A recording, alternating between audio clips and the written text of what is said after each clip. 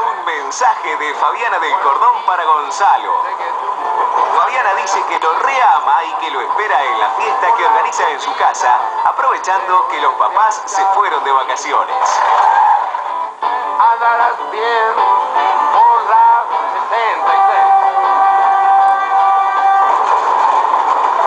De Chicago hasta L.